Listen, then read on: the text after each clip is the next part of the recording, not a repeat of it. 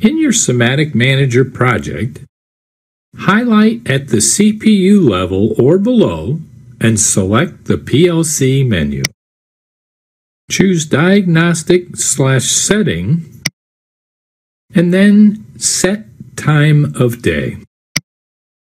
If you wish to manually input the date and time, then uncheck Take from PG-PC box. Now you can input the date and time and click the Apply button.